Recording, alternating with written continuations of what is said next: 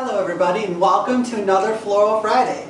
We are going to be attempting the Midollino spiral that everybody around the world has come to love because of Hitomi Gilliam.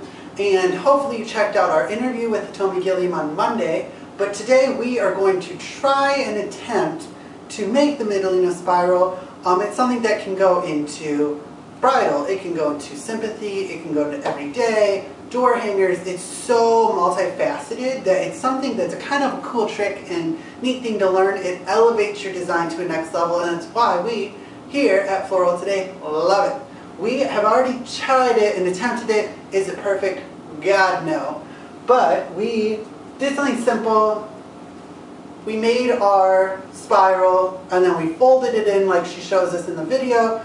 We added some orange ilex berry, very simple, kind of goes with this.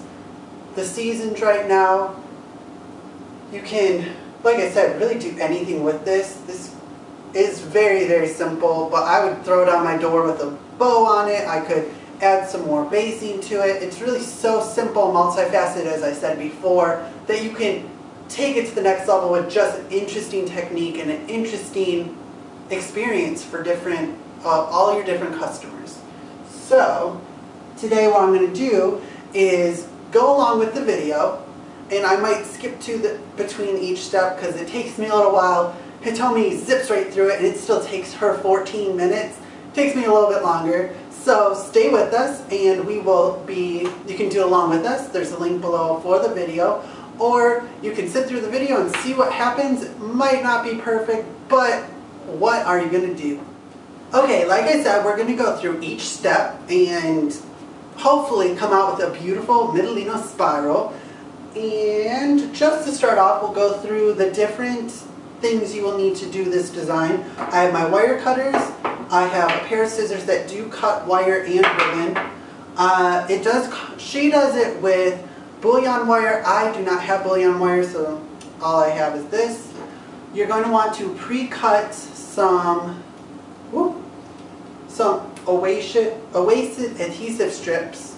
You can use dots, you can really use anything, just some adhesive strips. You'll need it as you're making your design. Um, metallic wire, really any color you want. Same with the Midollino. You're going to want 30 strong pieces of Midollino. Um, there's quite easy to see what's strong and what's not. If it's flat and has no body to it, don't use it. We've pulled our 30 pieces. You're going to want a long piece of wire, of the metallic wire. She doesn't really tell you exactly how long. I just have my whole arm span. I have a long arm span, some people don't. So just make sure you have a long piece of wire and whatever you want to add to it afterwards. But we are just going to make the spiral right now. So let's get going. So we're starting out with getting our 30 pieces and we are going to make them all equal. And then just so we don't have a blunt end, we're going to pull a few out so that the bottom of our spiral will taper and can be easy to add into, like if you want to put into a vase or if you just want a nice finished end to it, it's kind of dresses it up, makes it that much nicer.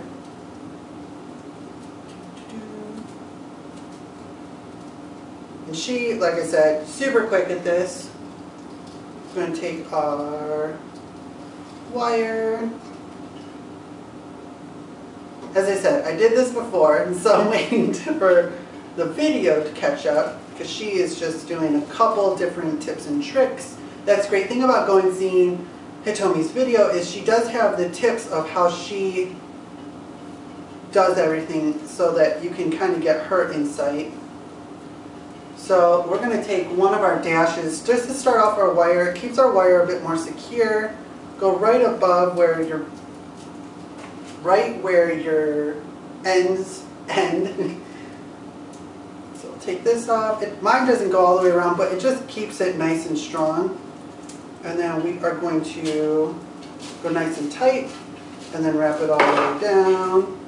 I already messed up. You gotta add your wire in, but the easy part is this goes right into the center.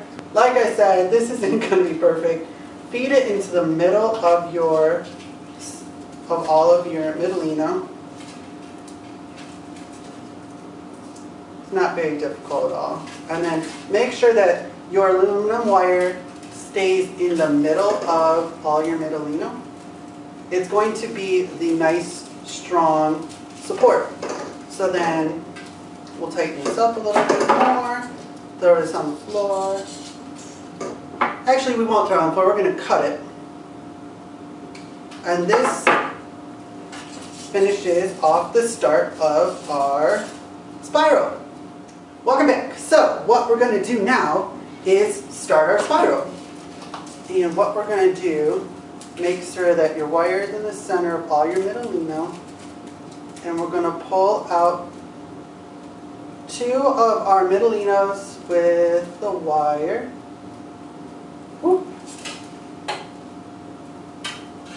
And for this, we're going to want to cut a nice big chunk of our metallic wire. Like I said, Hitomi uses bullion. I did not have bullion. I forgot to grab it when I was at the wholesaler. But then I might use another glue dot. I use a lot more glue dots than Hitomi does. I am still learning how to do this, as you can see. So I'm going to just do a quick glue dot. Make sure our mechanics are pretty sound.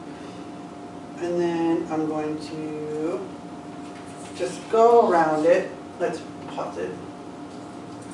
And she says to go around it for 8 to 10 inches. I think I messed up this step too.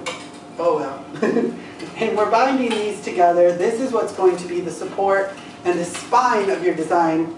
It gives you the shape, it gives you the strength that you need for your design.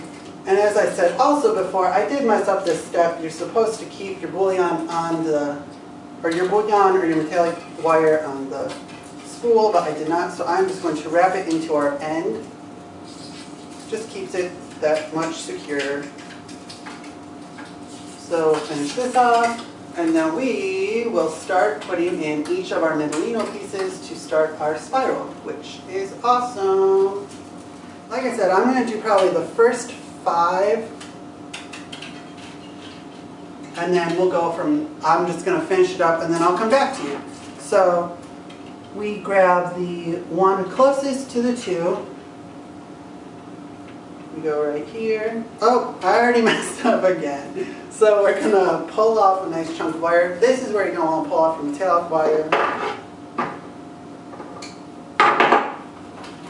Because you can't really work through all of the different ways. So we have our first one, we pull it up, and then we start our bind. You could do another piece of U-glue here.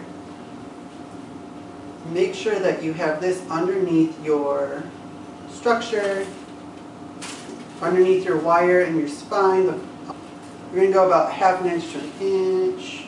Make sure it's tight. You kind of have to have space to do this, but it's all good.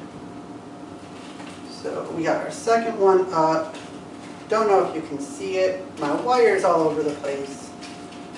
Whoop. But we have underneath, and then pull tight, and we just keep winding around. And you already have as you can see, a nice spiral shape starting. Pull the next one up. Keep it underneath the bottom of your spine. Go about half an inch.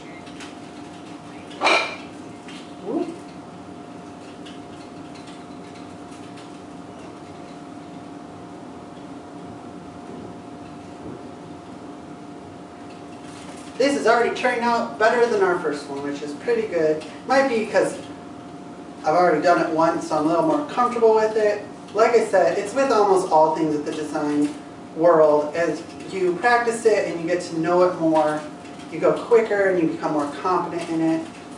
So let's just add one more, and then I will leave you and come back, and hopefully I will have a nice spiral.